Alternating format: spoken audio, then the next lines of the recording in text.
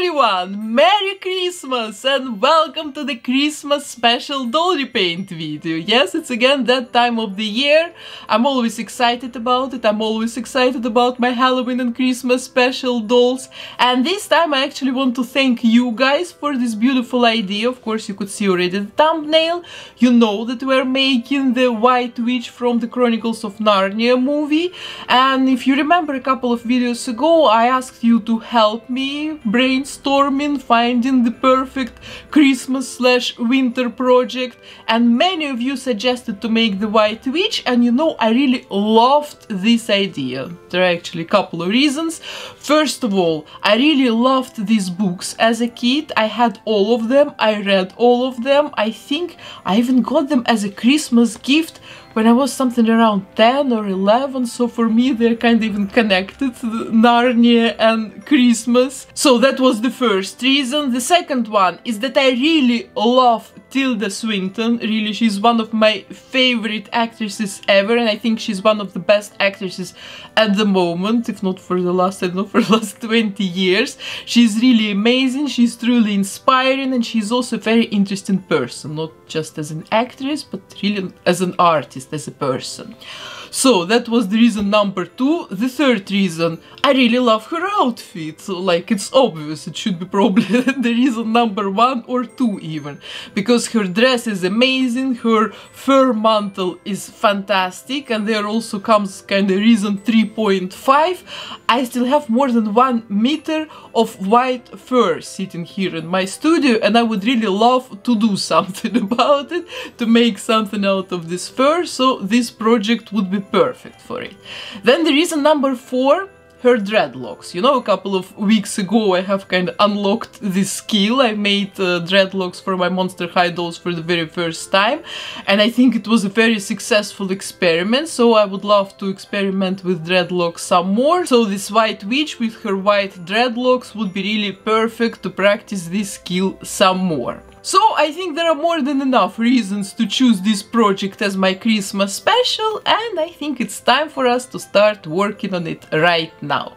Of course guys, please don't forget to subscribe to my channel, hit the bell button to get notified about my new doll repaint videos and of course support my art here on YouTube with your likes. And now guys, let's start working.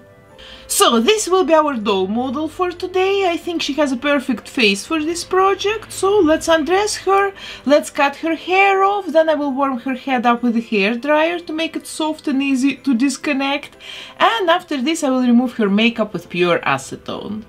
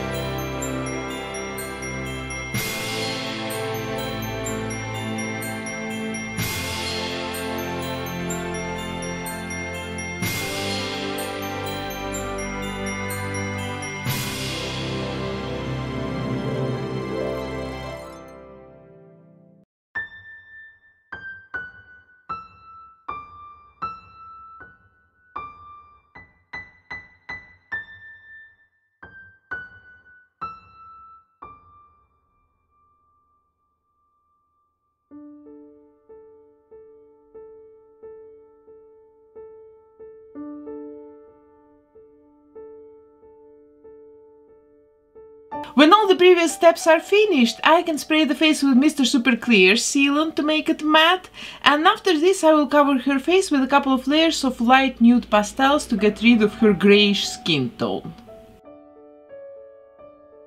Then I sketch her eyes and eyebrows with a watercolor pencil.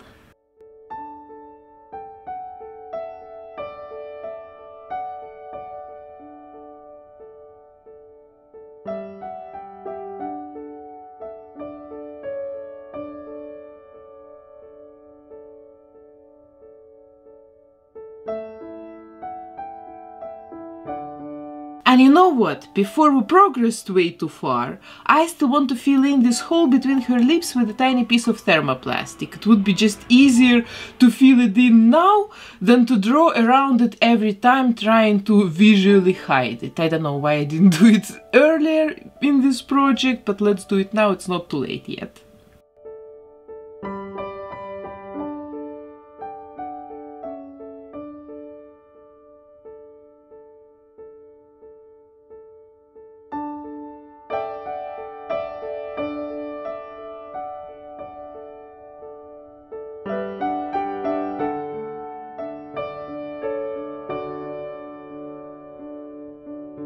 Then I continue working on her skin tone and now I'm applying shadows and blush to her face and you, yeah, actually there will be not that much blush today because the White Witch is very pale with almost invisible very light eyebrows and eyelashes and just her lips look quite bright. So this is what we're going for today.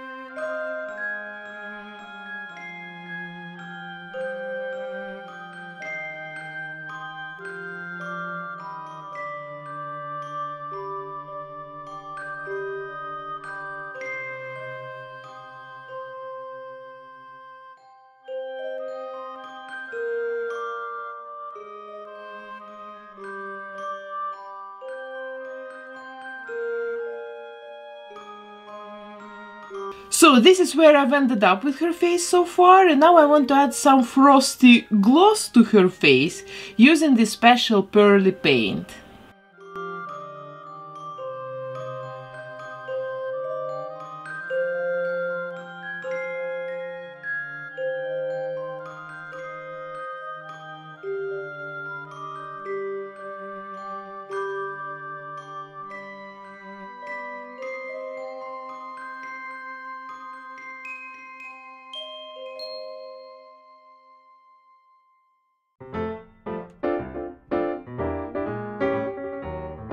Okay, looks good. Now let's repeat it all on her body.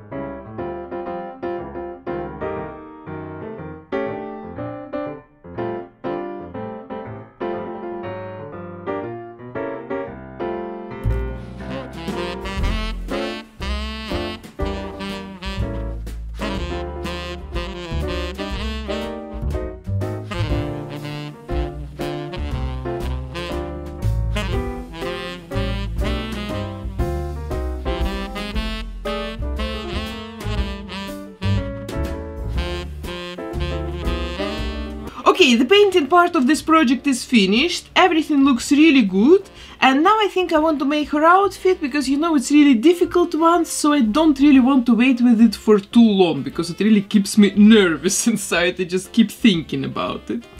So she wears this beautiful warm winter dress with a fur mantle and I've read that the makers used miles of wool and lace to make it. Thank god I never need miles of anything here in my work for my dolls.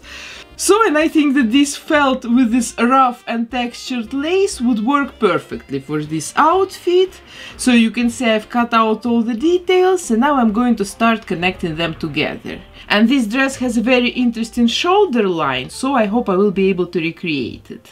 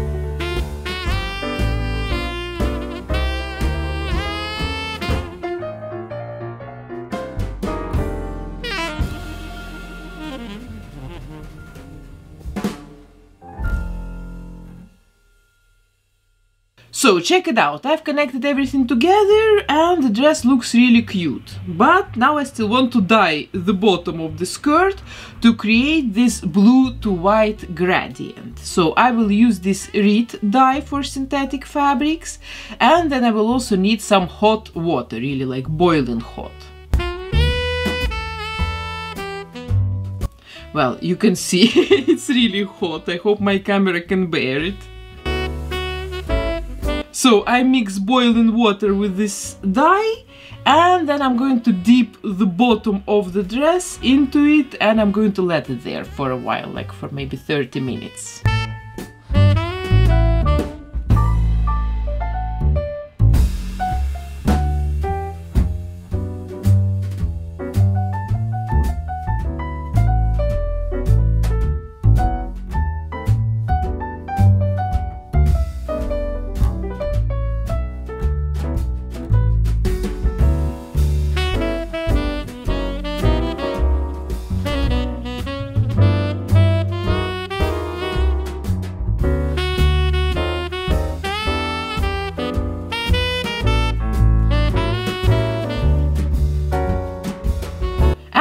What I've got when I washed off all this dye. I think it looks super cute, very pretty gradient. So now I will let it dry, the color will become even a little bit lighter and then I'll try it on a doll.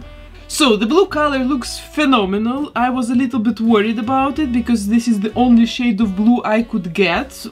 All the rest was out of stock and also for some reason it's very difficult to buy this Rit dye for synthetic fabrics here in Europe. So I don't know why and I don't know what exactly people dye so actively with blue color. But it all worked really well and the dress looks super cute. It fits perfectly also, the neckline, the shoulder line is ideal. So this step is also finished and now I'm going to make a fur mantle for her. So first of all I'm going to measure the length of the future coat to know how much fur I need for it. So it's about 50 centimeter plus let's say 5-6 centimeter extra. And then I take this beautiful fur piece and I draw two lines a bit above her elbows.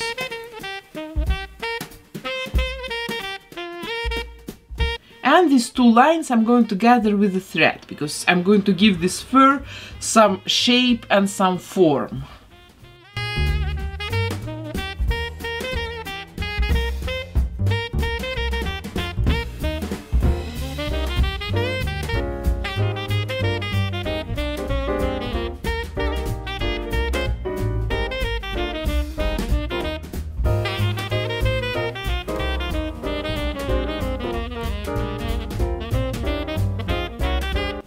Then I also add two vertical lines of stitches, gathered stitches on each side.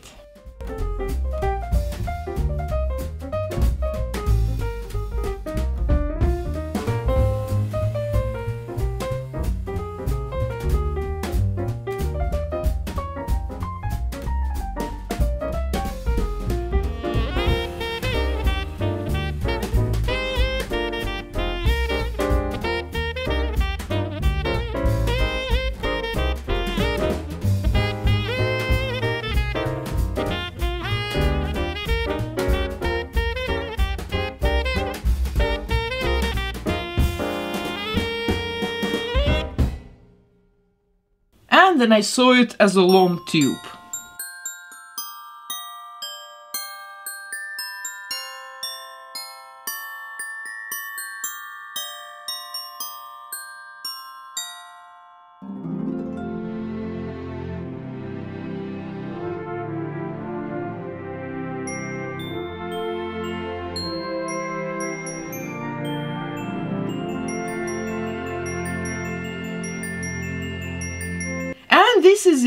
Is the fur mantle, check it out, it's really long, fluffy, soft and beautiful and it looks absolutely gorgeous on top of the dress. So now we're done with the outfit and I think it's time to work on her hair and make a bunch of white dreadlocks. I've bought this beautiful yarn. This is 50-50 mix of wool and acrylic. This kind of yarn worked perfectly for making dreadlocks the last time, so let's try to repeat it all again and make a bunch of dreadlocks. So I start with cutting this yarn into shorter pieces and then we're going to attach them to barbecue sticks.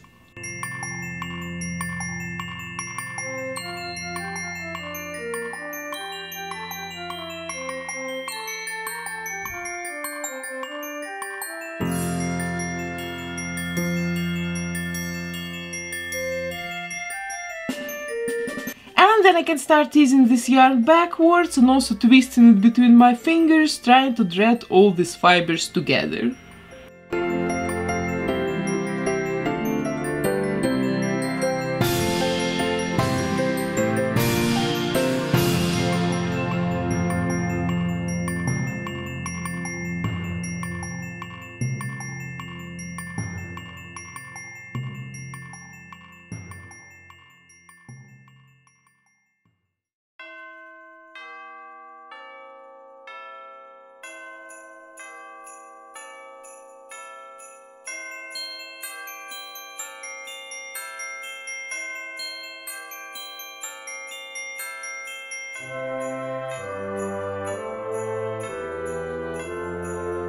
So it looks already super cute, but now I want to make them even thinner and smoother. And for this I'll first make them wet with regular water and then I will make it very very hot with a flat iron.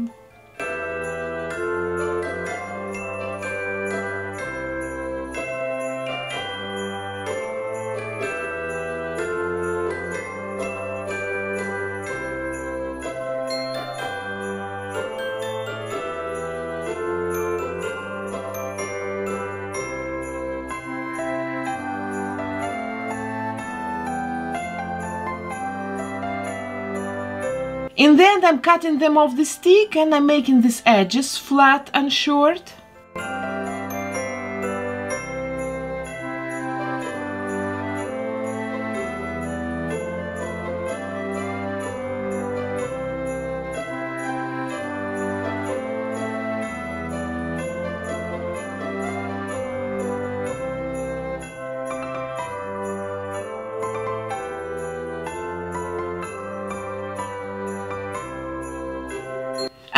This, after two days of working, I've ended up making my 100 of dreadlocks. So now let's glue them to the doll's head.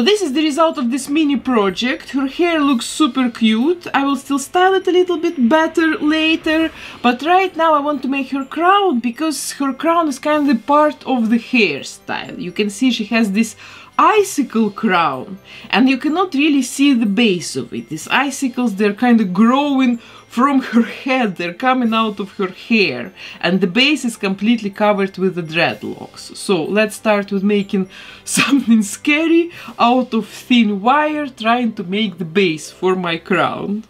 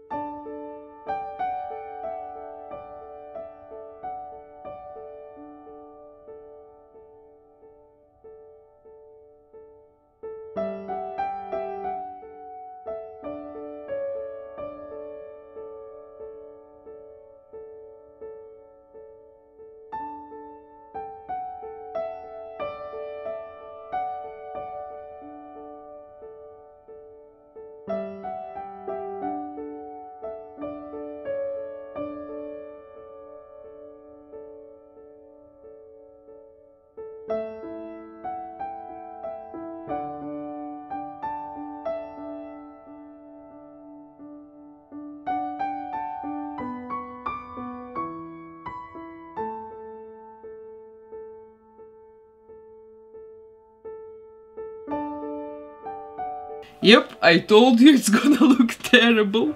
Uh, some construction I've made, but anyway, this is a very good base for me because right now I'm going to cover all these spikes with Worbla thermoplastic.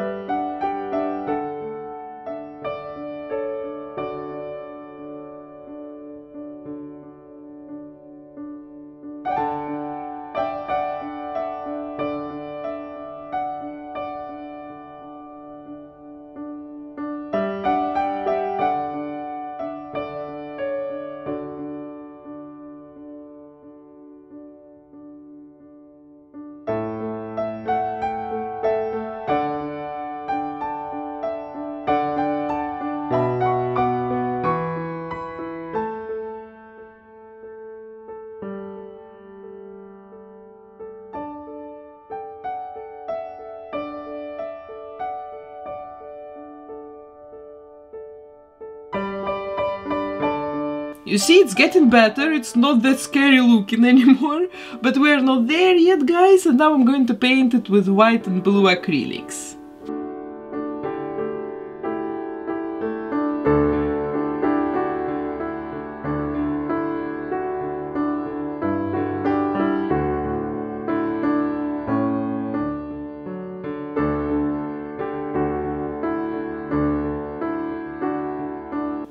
Well, it really looks like we're getting somewhere, so now I want to make these spice more icy looking, and for this I will cover them with a layer of epoxy resin.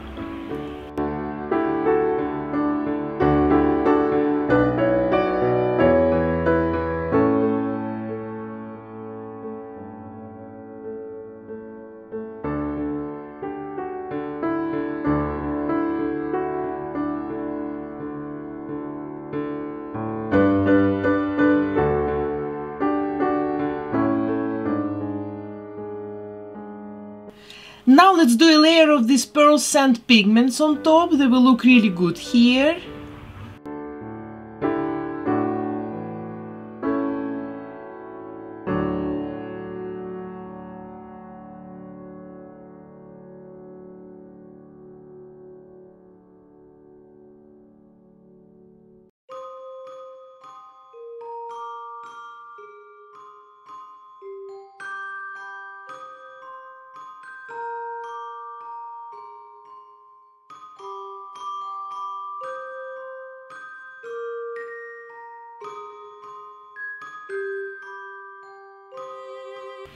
And then I basically keep adding the epoxy resin mostly to the tops of the spikes because I want to create see-through like an ice cover around the spikes.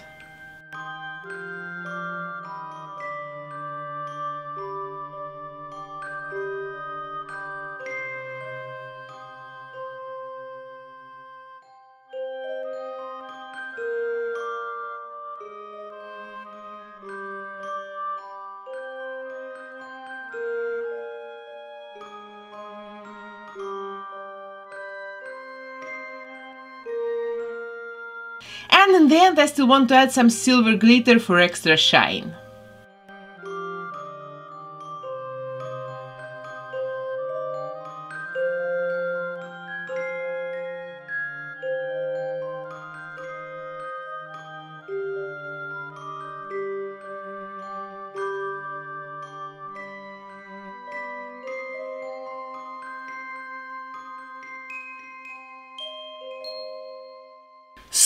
This is the finished crown. It looks absolutely epic, especially if you remember where we've started. So now let's install it on her head and then we're going to finish her hairstyle.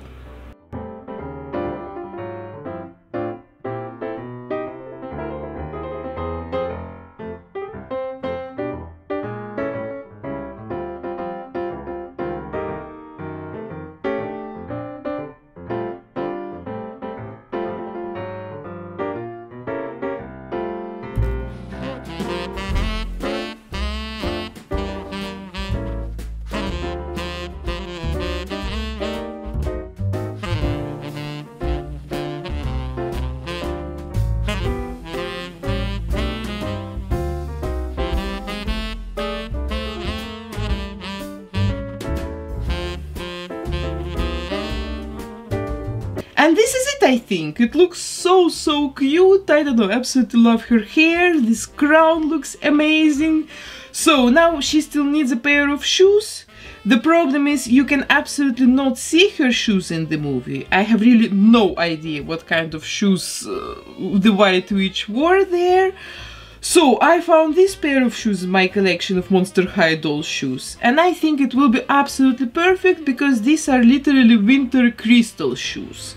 I just want to paint them with a bunch of these special paints to make these crystals super shiny and like iridescent like real crystals. So and after this step is finished we will be able to take a look at the end result pictures.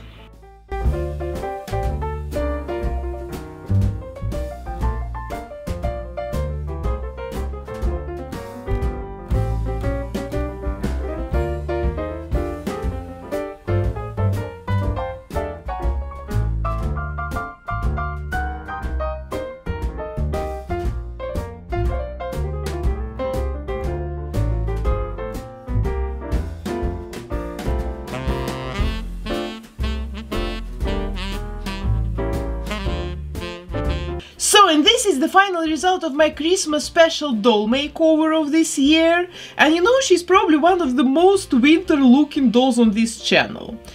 Look, the Antarctic Mermaid could probably compete with her, then the Winter Unicorn from two years ago was also absolutely epic and very winter looking. Then there was another winter doll a couple of years ago. I remember I painted her face completely with an airbrush. It was like an experiment. Yeah, and this is it probably. So it means that out of almost 300 dolls on this channel, there is just a handful of winter themed ones. That's why probably I feel completely enchanted by this white witch today. She looks so majestic, so cold, so powerful, like a real winter goddess. And all the parts of this project work really well together. I mean, like the dress looks perfect with this fur, the crown goes perfectly with her hair and also with the color of the dress, and then the dreadlocks, they're kind of pulling everything together. So I feel very satisfied today one more time, and I want to thank you again for this beautiful project idea. I really hope you like the realization of it, and I especially hope that no nobody is disappointed about this doll, especially on the Christmas Eve. And by the way, your likes and comments would be the best Christmas gift from you to me. And if you also have other cool doll ideas, please don't hesitate to write them under this video. Who knows, maybe your doll idea will be next for me to make. So, and this doll is now available for sale on eBay for 3 days like always, so go and check it out if this is something for you.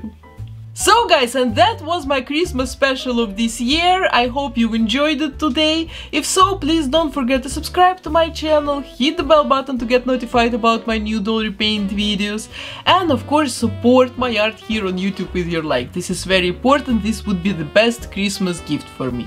Subscribe, hit the bell button, and I will see you very soon, probably still this year. I don't know, I will let you know.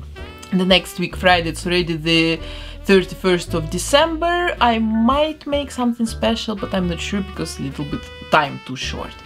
So guys, Merry Christmas again, have a nice weekend, love you guys, bye!